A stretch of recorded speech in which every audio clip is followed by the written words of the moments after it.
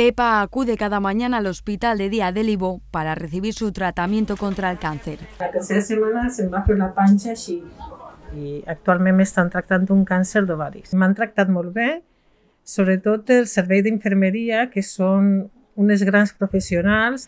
No em pensava ni ara ni mai que m'abraçaria l'oncòloga o que les infermeres m'abraçaren i que m'agafaren de la mà.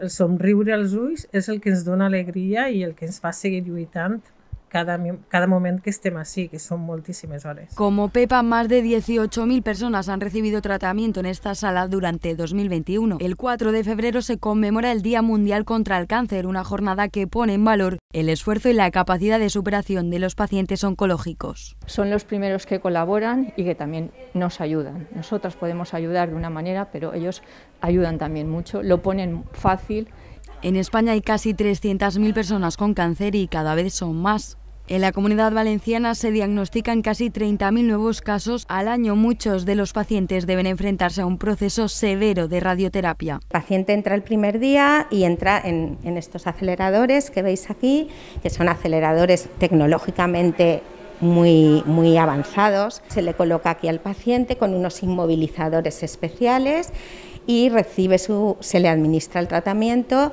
en muy poquito tiempo. Nos basamos en la prevención de los efectos secundarios que pueden tener los pacientes del tratamiento. El cáncer es la segunda causa de muerte en el mundo. Los de vejiga, pulmón, mama y próstata tienen mayor riesgo de mortalidad. Muchos pacientes deben pasar por quirófano, donde la enfermería continúa a su lado.